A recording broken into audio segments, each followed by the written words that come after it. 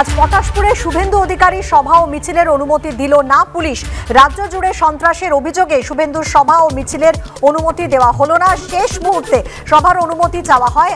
আবেদন ত্রুটিপূর্ণ এবং সেই কারণেই অনুমতি দেওয়া হয়নি দাবি পটাশপুর থানার। কথা বলব আমাদের প্রতিনিধি ঋত্বিক প্রধানের সঙ্গে। ঋত্বিক, একদিকে যখন পটাশপুর থানার তরফ থেকে অনুমতি দেওয়া হলো না, অন্যদিকে কর্মসূচিতে অনর বিজেপি। সব মিলিয়ে কি খবর রয়েছে তোমার কাছে? যেটা হচ্ছে যে দিকে দিকে খুন, সন্ত্রাস এবং বিজেপি কর্মীদের উপর অত্যাচারের প্রতিবাদেই কিন্তু আজ বিরোধী দলনেতা শুভেন্দু অধিকারীর নেতৃত্বে পটাশপুরের পেট্রোল পাম্পের সামনে থেকে একটি বিক্ষোভ মিছিল এবং স্ট্রিট কর্নার হওয়ার কথা ছিল। এই বিক্ষোভ মিছিল কিন্তু পটাশপুর পুরো পরিক্রমা করে লাস্ট পেট্রোল পাম্পের সামনে এসেই সেটা শেষ হতো এবং সেখানে একটি স্ট্রিট কর্নার করে এই প্রোগ্রামের পরিসমাপ্তি ঘটতো। যদিও পটাশপুর থানার পক্ষ থেকে জানানো হয়েছে যে, এই যে আবেদন বা পুলিশের পারমিশন নেওয়ার জন্য যে আবেদন করা হয়েছিল, সেই আবেদন ত্রুটিপূর্ণ ছিল। হ্যাঁ ঋত্বিক? শুনতে আমাদের সঙ্গে যোগাযোগ বিচ্ছিন্ন হয়ে গেছে আমাদের প্রতিনিধি ঋত্বিক প্রধানের।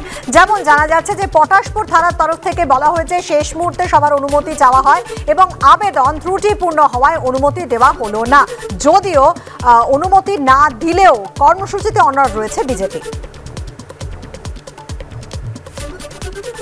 সম্মাননীয় বিরোধী দলনেতার উপস্থিতিতে পটাশপুরে আজকের সভা জনজোয়ারে পূর্ণ হবে।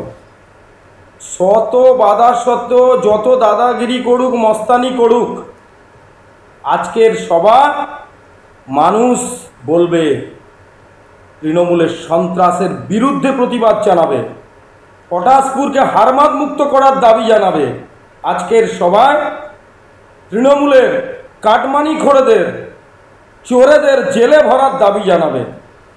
তাই আজকের সভা মানুষের স্বতঃস্ফূর্ততা শুরু হয়েছে এবং এই সভায় যতই বিরোধিতা করুক, যতই হুমকি দিক আর যতই সন্ত্রাস করবার চেষ্টা করুক, মানুষ রুখে দেবেন, মানুষ হিসেব বুঝে নেবেন। পটাশপুরে আজকের সভা, বিরোধী দলনেতার উপস্থিতিতে এই সভা ব্যাপক উৎসাহ উদ্দীপনার সঞ্চার করেছে মানুষের মধ্যে। দেখুন, আপনারা দেখছেন বিজেপির সভা, এই যে একশো দিনের মন কি বাত হলো। আপনাদের সংবাদ মাধ্যমে দেখলেন একশোটা চেয়ার দিচ্ছে বিভিন্ন জায়গায়, তার নব্বইটা চেয়ার খালি পড়ে থাকছে। তারা সভা করলে, সমিতি করলে লোক যাচ্ছে না। মালদায় তারা সভা করতে যাচ্ছে, প্রধানমন্ত্রী আবাস যোজনার ফর্ম বিলি করার লোভ দেখিয়ে লোক ডাকছে। আসানসোলে সভা করতে যাচ্ছে, কম্বল দেওয়ার লোভ দেখিয়ে লোক ডাকছে। তাদের সবাই মিটিং মিছিল করায় লোক নেই।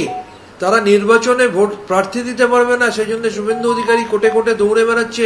কোটে নির্বাচনের দিন পিছনোর জন্যে জনসংযোগ, তারা জনবিচ্ছিন্ন হয়ে পড়েছে। তাই তারা তৃণমূলকে দোষারোপ দিচ্ছে। আসলে তারা জানে যে তারা যেখানেই মিটিং মিছিল করবে, যতই বাইরে থেকে ভাড়া করে গুন্ডা নিয়ে আসুক, স্থানীয় মানুষের সমর্থন তারা পাচ্ছে না, আগামী দিনে আরও পাবে না। দেওয়ালিখন বন্ধ নিয়ে কুর্মী নেতাদের নিশানা অজিত মাইতির। কিছু কুর্মী নেতার আচরণ খালিস্তানি নেতাদের মতো। তাদের কথায় জেলার কোথাও দেওয়াল লিখনে দেওয়াল লিখন বন্ধ করতে দেওয়া হবে না, হুঁশিয়ারি তৃণমূল নেতা অজিত মাইতি জঙ্গলমহলের রাজনৈতিক প্রচারে দেওয়াল লিখন বন্ধের হুঁশিয়ারি দিয়েছিলেন কুর্মী নেতারা। পাঁচ আক্রমণ, তৃণমূল নেতা অজিত মাইতির। উস্কানিমূলক মন্তব্যের কারণে কোথাও গন্ডগোল হলে দায় তার, তাকেই নিতে হবে। পাল্টা হুঁশিয়ারি কুর্মী সমাজের।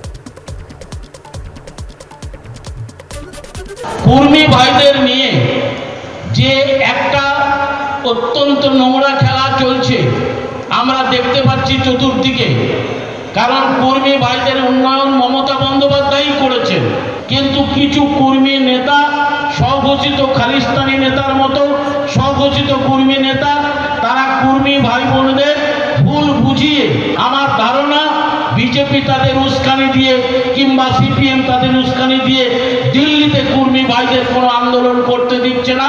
যা করার, এই বাংলাকে অশান্ত করার চক্রান্ত চলছে। ওনার মতো বর্ষিয়ান নেতার কাছ থেকে এই ধরনের উস্কানিমূলক বক্তব্য এটা কাঙ্ক্ষিত নয়।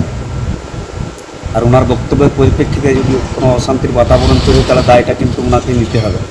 অজিত মাইতির বক্তব্য আপনারা শুনলেন। কিছু কর্মী নেতার আচরণ, খালিস্তানি নেতার মতো, তাদের কথায় জেলার কোথাও দেওয়াল লিখন বন্ধ করতে দেওয়া হবে না। হুঁশিয়ারি দিলেন অজিত মাইতি এবং জঙ্গলমহলে রাজনৈতিক প্রচারে দেওয়াল লিখন বন্ধের হুঁশিয়ারি দিয়েছিলেন কর্মী নেতারা। পাল্টা আক্রমণ, তৃণমূল নেতা অজিত মাইতির উস্কানিমূলক মন্তব্যের কারণে কোথাও গণ্ডগোল হলে দায় তার, দায় ওকেই নিতে হবে, এমন হুঁশিয়ারি দিলেন কর্মী সমাজ। দেখুন, কর্মীরা তাদের এক দাবি নিয়ে আন্দোলন করছে। সেখানে কোনো বিচ্ছিন্নতাবাদী চিন্তাভাবনা নেই তাদের মধ্যে। খালিস্তান যারা সমর্থক, তারা বিচ্ছিন্নতাবাদী চিন্তাধারায় বিশ্বাস করে। ভারতবর্ষ থেকে পাঞ্জাবকে আলাদা করে আলাদা রাষ্ট্র তৈরি করার কথা বলে। দুজনের মধ্যে কোনো তুলনা হওয়া উচিত নয়, তুলনা করা উচিত নয়। আমরা এর তীব্র প্রতিবাদ জানাচ্ছি এবং আমার বিশ্বাস, কুর্মী ভাই বোনেরা তৃণমূল কংগ্রেস এবং তার বিধায়ককে উচিত সময়ে উচিত শিক্ষা দিয়ে দেবে। উনি কি বলেছেন আমি জানি না, এটা আমাদের দলের স্ট্যান্ড নয়। আমাদের দল সমস্ত ধর্ম, সমস্ত বর্ণ, সমস্ত জাতপাতের মানুষকে যোগ্য সম্মান দেয়, শ্রদ্ধা করে এবং মমতা বন্দ্যোপাধ্যায় সমস্ত জাতপাত, সমস্ত ধর্মের, সমস্ত বর্ণের জন্য উন্নয়ন করেছেন, প্রত্যেকটা সমাজের জন্য উন্নয়ন করেছেন ভবিষ্যতেও করবেন। যদি কেউ এই ধরনের মন্তব্য করে থাকে, সেটা দলের স্ট্যান্ড নয়। এবার পুলিশকে হুঁশিয়ারি সিপিএম নেতা সুজন চক্রবর্তীর। মনে রেখো, এটা দু হাজার নয়। মানুষের টাকায় কেনা উর্দিকে সম্মান করতে হবে, না হলে মানুষ উর্দি খুলে তৃণমূলের জামা পরিয়ে দেবে।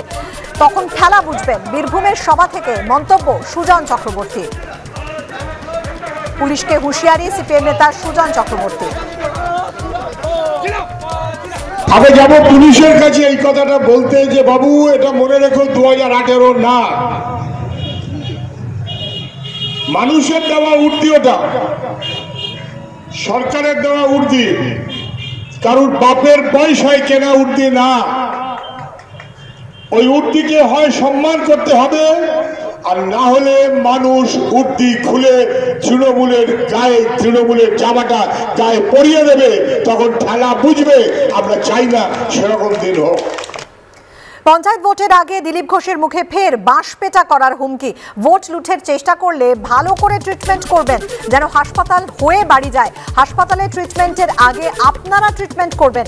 গরিব মানুষকে ধোকা দিয়ে ভোট লুট করতে দেব না হুঙ্কার বিজেপি সর্বভারতীয় সহসভাপতি দিলীপ ঘোষের। আমি বলে দিচ্ছি, বুথে যদি কেউ ফালতু লোক ঢুকে ভোট ভোট লুট করার চেষ্টা করে, তাকে ভালো করে ট্রিটমেন্ট করবেন যেন হসপিটাল হয়ে বাড়ি যায়।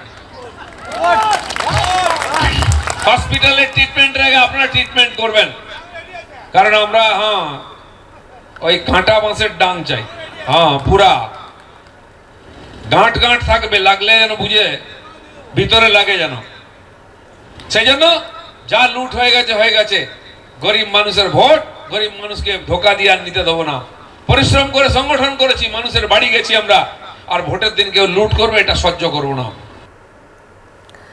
অন্যদিকে পঞ্চায়েত ভোটের আগে ভাঙড়ে আইএসএফ এ ভাঙন। শওকত মোল্লা, আরবুল ইসলামদের হাত ধরে তৃণমূলে নাম লেখালেন নশাদ সিদ্দিকের দলের শতাধিক কর্মী সমর্থক। দলত্যাগীদের বেশিরভাগই ভাঙড়ে পাওয়ার গ্রিড আন্দোলনে শরিক ছিলেন। দলত্যাগ নিয়ে জমি জীবিকা, বাস্তুতন্ত্র পরিবেশ রক্ষা কমিটির দাবি দুর্নীতির অভিযোগে আগেই দল থেকে বহিষ্কার করা হয়েছিল। তৃণমূলে যোগদানকারীদের অন্যদিকে আইএসএফ এ ভাঙন ধরানোর পর নশাদ সিদ্দিকের দলের বিরুদ্ধে বিভিন্ন উন্নয়ন প্রকল্পে আর্থিক দুর্নীতির অভিযোগ তুলেছেন। ক্যানিং পূর্বে তৃণমূল বিধায়ক শওকত মোল্লা।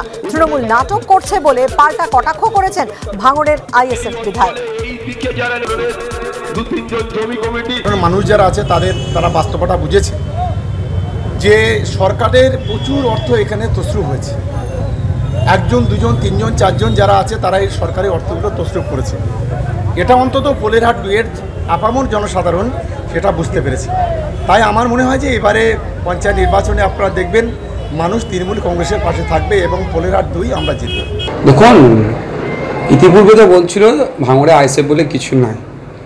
যদি আইসেফ বলে কিছু না থাকে, নতুন করে একশো জন কর্মীকে কি দেখাচ্ছে? কারা করেছে? তাই এই মুহূর্তে তো জানি না। তবে আমি আবার কেন করেছে সে প্রশ্ন থেকে যায়।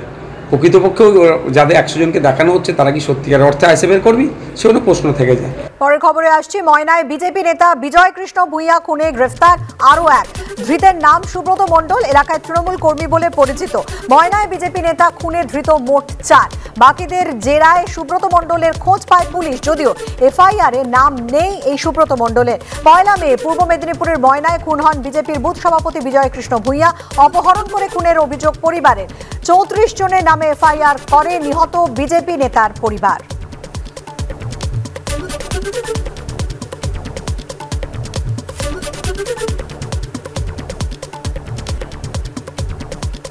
ময়নায় বিজেপি নেতা বিজয় কৃষ্ণ ভূঁইয়া খুনে গ্রেফতার আরও এক, সব মিলে এখনও পর্যন্ত চারজনকে গ্রেফতার করল পুলিশ এবং বাকিদের জেরায় এই সুব্রত মণ্ডলের খোঁজ পায় পুলিশ। যদিও এফআইআরে কিন্তু এই সুব্রত মণ্ডলের নাম নেই।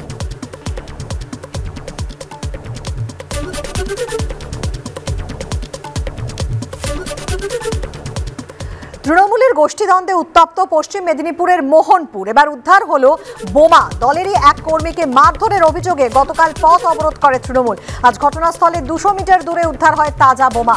জঙ্গলের মধ্যে মিলল দুই জারিকান ভর্তি তাজা বোমা। এলাকা ঘিরে রেখে পুলিশ খবর দেওয়া হয় বম স্কোয়াডকে। যে ছবি আপনারা দেখতে পাচ্ছেন, তৃণমূলের গোষ্ঠীদ্বন্দ্বে একেবারে উত্তপ্ত পশ্চিম মেদিনীপুরের মোহনপুর। বোমা উদ্ধার হয়েছে দলেরই এক কর্মীকে মারধরের অভিযোগে গতকাল আমরা দেখেছিলাম যে পথ অবরোধ করে তৃণমূল এবং আজ ঘটনাস্থলের দুশো মিটার দূরে তাজা বোমা উদ্ধার হয়েছে। জঙ্গলের মধ্যে দুই জারিকেন ভর্তি তাজা বোমা পাওয়া যায়। এলাকা ঘিরে রেখেছে পুলিশ, বম স্কোয়াডকে খবর দেওয়া হয়েছে।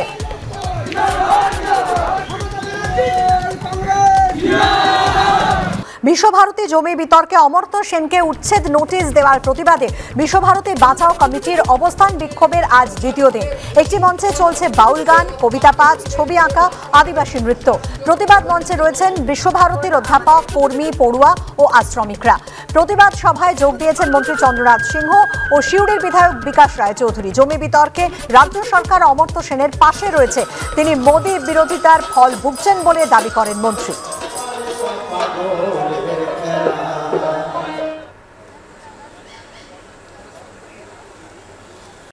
দাঁড়িয়ে রয়েছি শান্তিনিকেতনের অমর্ত্য সেনের যে বাড়ি প্রতীচি, বাড়ির সামনে আমি দেখাবো। এই যে বাড়ি এই বাড়ির কিছুটা জমি নিয়েই কিন্তু বিতর্ক এবং এই যে দীর্ঘদিন ধরে চলছে বিশ্বভারতীর সাথে অমর্ত্য সেনের এই যে তেরো ডিসিবেল জমি নিয়ে বিতর্ক এবং সেই নিয়েই কিন্তু শুরু হয়েছে গতকাল থেকে বিক্ষোভ মঞ্চ বেঁধে অবস্থান চলছে এই জায়গায়। সেখানে আজকে রাজ্যের যে মন্ত্রী চন্দ্রনাথ সিংহ তিনি যেমন রয়েছেন বিধায়ক বিকাশ রায়চৌধুরী রয়েছেন এবং শান্তিনিকেতনের পড়ুয়ারা রয়েছে। শান্তিনিকেতনের যারা অধ্যাপক তারা রয়েছেন, তাদের যেটা লেখা রয়েছে যে প্রতিচি বাঁচাও। বিশ্বভারতী যে ধরনের ব্যবহার করছে, অমর্ত্য সেন নোবেলজয়ী তার বাড়ির জমি নিয়ে, সেইটার প্রতিবাদেই কিন্তু এই বিক্ষোভ এবং এই বিক্ষোভ আগামী নয় তারিখ অবধি চলবে, এমনটাই কিন্তু উদ্যোক্তারা জানাচ্ছেন।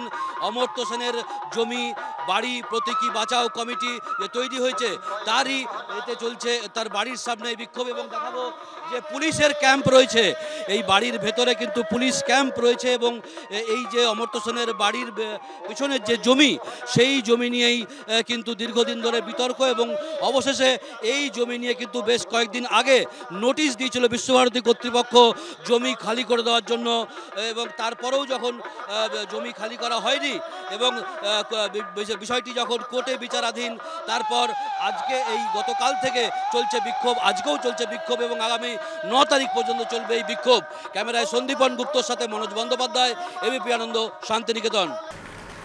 যে অবস্থান বিক্ষোভের আজ দ্বিতীয় দিন নয় মে রবীন্দ্র জয়ন্তী পালন করে শেষ হবে বিশ্বভারতী বাঁচাও কমিটির এই অবস্থান বিক্ষোভ। আর শান্তনু সেন তৃণমূল সাংসদ তিনি কি জানিয়েছেন? শুনব এবার। দেখুন আপনারা দেখেছেন বিশ্ববরেণ্য নোবেল লরিয়েট অর্থনীতিবিদ অমর্ত্য সেন যিনি বাংলার গর্ব সারা দেশের গর্ব। তার অপরাধ তিনি নরেন্দ্র মোদী সরকারের খারাপ দিকগুলো মাঝে মাঝে তুলে ধরেন। তার সবথেকে বড় অপরাধ তিনি বলে ফেলেছেন যে মমতা ব্যানার্জির মধ্যে প্রধানমন্ত্রী হওয়ার সব রকম যোগ্যতা আছে। সেই জন্য বিজেপির দলদাসে পরিণত হওয়া বিশ্বভারতী বিশ্ববিদ্যালয়ের উপাচার্যের নেতৃত্বে যেভাবে নোবেল লরিয়েট অমর্ত্য সেনের বিরুদ্ধে হিংস্রভাবে নোকদাঁত বার করে আক্রমণ করা হচ্ছে, যে তেরো ডেসিবেল জমি নিয়ে বিতর্ক বাংলার মুখ্যমন্ত্রী মমতা বন্দ্যোপাধ্যায় কাগজপত্র দেখিয়ে প্রকাশ্যে প্রমাণ করে দিয়ে এলেন, ওটা তার পৈতৃক সম্পত্তি তিনি দখল করে নেই। তারপরও যেভাবে অমর্ত্য সেনের মতো মানুষকে উচ্ছেদের নোটিশ দিয়ে তাকে সামাজিক সম্মানহানি করার চেষ্টা করছে, এর বিরুদ্ধে শুধু বাংলা নয়, সারা ভারতবর্ষের আপামর জনগণ, সারা ভারতবর্ষের সুশীল সমাজ গর্জে উঠেছে। তারই প্রতিবাদের একটা অংশ হিসেবে এই প্রতিবাদ সভা হয়েছে।